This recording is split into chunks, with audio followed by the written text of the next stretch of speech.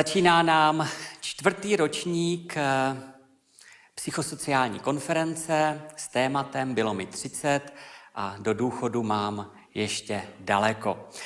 Eh, podtitul máme Jak se žije člověku ve středních letech. Když jsem trošku pátral tímhle tématem, tak jsem si říkal střední věk. Hledal jsem na internetu a vyskočila mě takový zajímavý článek, protože i v tom našem přípravném týmu my jsme měli takovou jako poradu, které to je období, kdy to začíná, kdy to končí. A jsem zjistil, že co lidé, tak na to mají trošku jiný, jiný pohled. Co národ, zase na to mají jiný pohled. Třeba Britové, eh, podle nějakého výzkumu, který se dělal, tak eh, pro ně mládí končí v 35 letech a začíná eh, věk středního života a stáří přichází v 58. Takže Britové 35 až 58. Portugalci to mají od 29 do 51. Trošku to pohnuli dopředu. Belgičané, pro ty je stáří ve v 64 letech. Když se ptali mladých lidí, takový do těch kolem těch 25, tak ti tvrdili, že staří jsou už lidé kolem padesátky. Takže střední věk končí v padesátce. Když se ptali lidé, lidí kolem osmdesátky, tak pro ně byl ten střední věk až do 67 let. Takže přátelé, nevím, někde tady bychom se měli pohybovat. Tam byla i taková drobná anketa, že kdo si četl ten článek, tak rovnou tam se mohl vyjádřit. Tak 10% eh, respondentů a celkem dost, jako tam lidí to zaklikávalo, 30 tisíc lidí se té ankety zúčastnilo.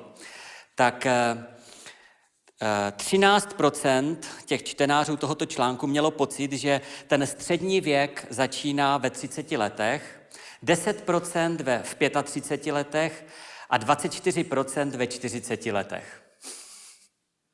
Takže to je jenom takhle k úvodu, možná trošku jakoby vymezení, vymezení té dnešní tématiky, uh, protože my se tady scházíme uh, jako řečníci, jako křesťané, děláme to na půdě uh, sboru, církve, pořádáme to jako teologický seminář církve adventistů. Chceme sledovat i ten duchovní rozměr v téhle v tomhle období a při téhle konferenci rádi bychom začali i společně s modlitbou. A já prosím bratra Josefa Hrdinku, aby se s námi na začátek pomodlil.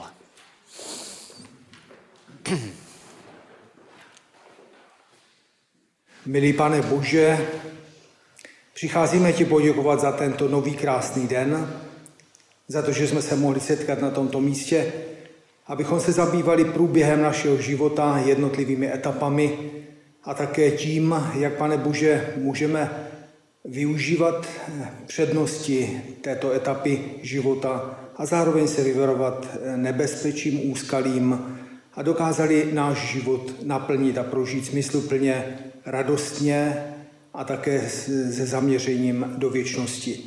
Pane Bože, poženej dnešní den těm, kteří budou hovořit, Poženej nám, kteří budeme poslouchat a dej, abychom si něco do našeho života praktického odnesli. Prosíme tě, poženej nám skrze Pána Ježíše Krista. Amen. Bratr už připomněl, že otevíráme čtvrtou psychosociální konferenci. Jak vlastně vznikly a proč? Teologický seminář spolu s oddělením výchovy pořádá tyto konference a spolu se rozhodli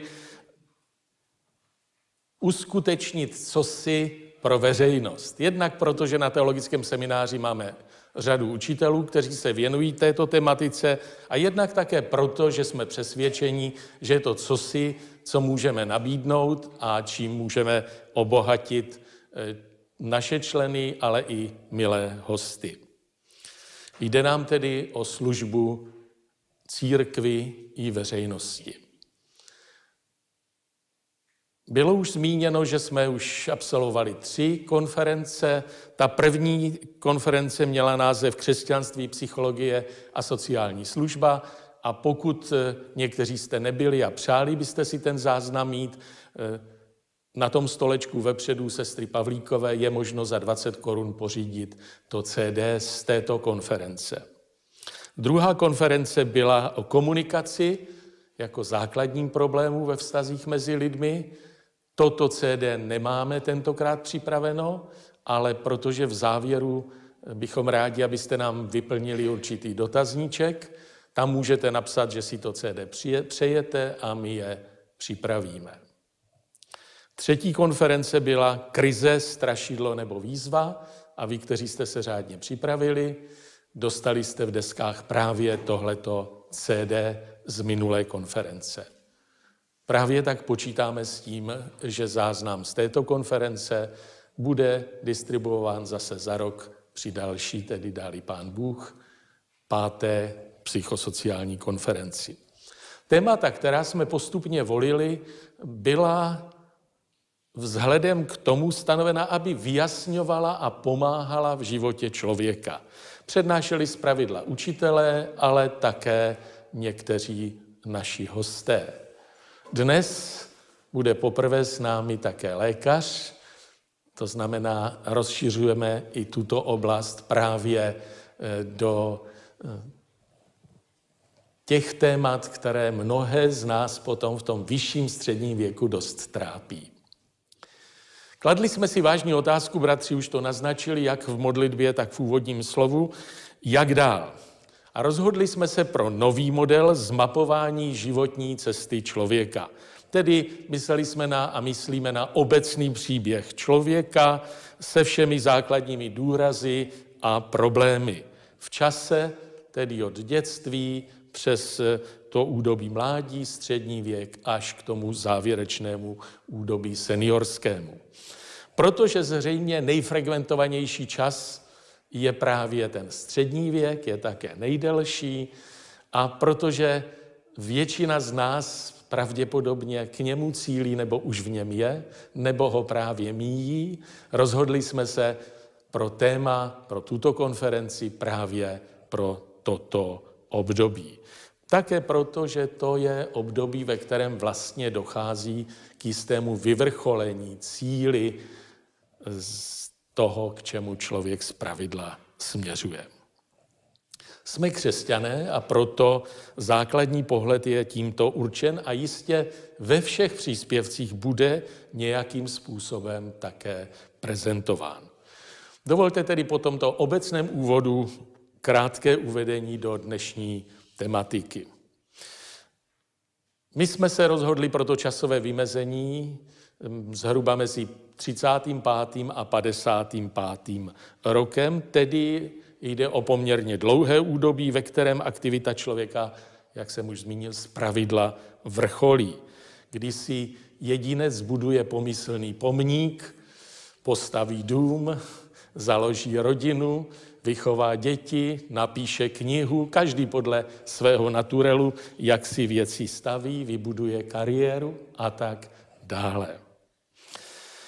Ale také je to údobí, ve kterém postupně nastupují stereotypy, zaběhlé koleje, ztráta iluzí, ztráty nadějí a proto patří k tomuto údobí vyrovnávání se s problémy, které postupně přichází. Po mém soudu základní okruhy, kterého, kterých eh, se týká naše přemýšlení, jsou partnerství a rodina, děti, práce, osobní život, jeho smysl a cíl, společenský život a sociální vazby, zdraví a samozřejmě duchovno. A v každém z těchto období eh, můžeme prožívat spoustu radostí, ale také řadu eh, možných problémů. Dovolte, abych naznačil alespoň podle toho, jak já vnímám ta jednotlivá období, ty některé důrazy, i s tím, že dnes se k mnohým nedostaneme, abychom si uvědomili tu šíři toho záběru a také pak ten náš výběr. Pokud je o partnerství, postupně nastupuje ubíjející stereotyp, krása odchází, problémy zůstávají, otázky jako vybral jsem si dobře, Otázky, žijeme spolu nebo vlastně vedle sebe? Rozumíme si opravdu? Máme společné aktivity? Máme na sebe čas? Umíme řešit krize? Je naše rodina dobrou křesťanskou rodinou? Když myslíme na děti, tak možná naskakuje ta první otázka, po kom to dítě je, vidíte? Já jsem takový, taková nebyl. Proč to dítě nejde tou cestou, kterou bych rád, aby ono šlo? Vychoval jsem ho špatně? Co to čte za knihy? Jakou hudbu poslouchá? Co s těmi dětmi vlastně je? Malé děti, malé problémy? Znáte to, velké děti? Velké problémy? Dítě dorůstají, volí si sami, často proti naší volbě a přání, bez nás, nechtějí slyšet náš názor, vylétají z hnízda a mohli bychom pokračovat. V té pracovní oblasti postupně člověk zajíždí také do jistých kolejí, do standardů, ví, že musí zabezpečit rodinu nebo vychovat děti, tak jak je to nastaveno v té rodině. Na nic není čas, z práce do práce, kolotoč, který se rozjíždí na stále větší otáčky. Myšlenka, kam jsem to dotáhl, jiní jsou lepší, proč mi to nefunguje se spolupracovníky, s šéfem, síly slábnou, přichází pracovní neúspěchy, vyhoření, možná ztráta zaměstnání, nejistota, co bude dál. Když myslíme na osobní oblast, která úzce s tím souvisí, myslíme především na ztrátu iluzí, nadějí, možná ze sebe, možná z partnera, možná z dětí, z celé rodiny, z práce. Co já s tím? Základní otázka. Má to cenu se vůbec snažit?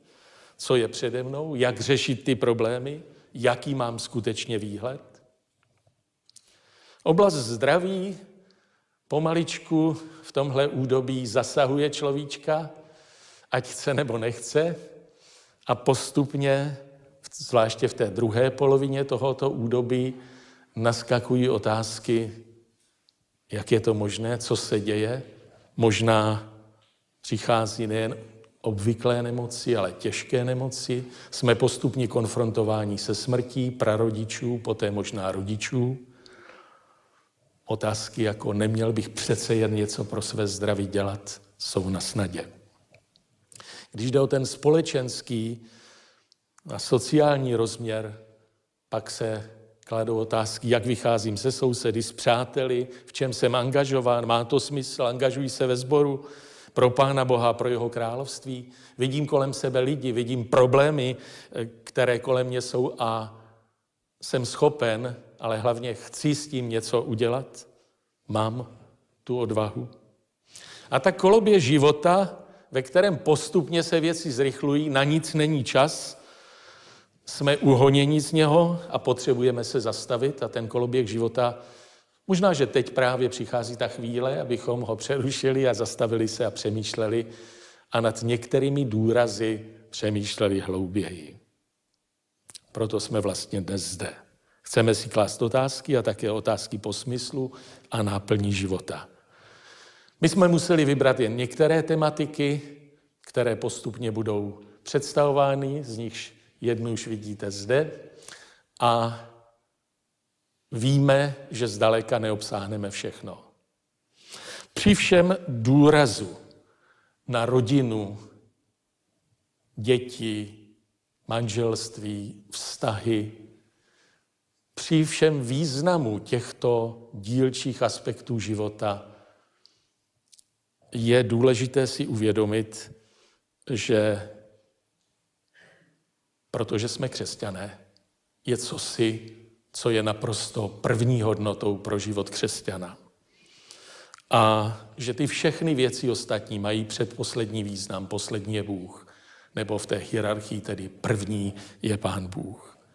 V písmě svaté máme celou řadu informací o tom, jak lidé žili, jak eh, žili jako jedinci, jak žili jako rodiny, zvláštní důraz na výchovu malých dětí, větších, eh, na dobré matky, otce. To všechno tam máme. Máme tam celou řadu velmi zajímavých biblických příběhů, které popisují různé situace, ve kterých se člověk mohl nacházet. My chceme zhrnout tento úvod tím, že zdůrazníme, že to hlavní a první pro požehnaný a proto ve smyslu písma svatého šťastný život je naučit se chodit s Pánem Bohem. Mít požehnaný a tedy šťastný život znamená být na cestě s hospodinem, žít s ním.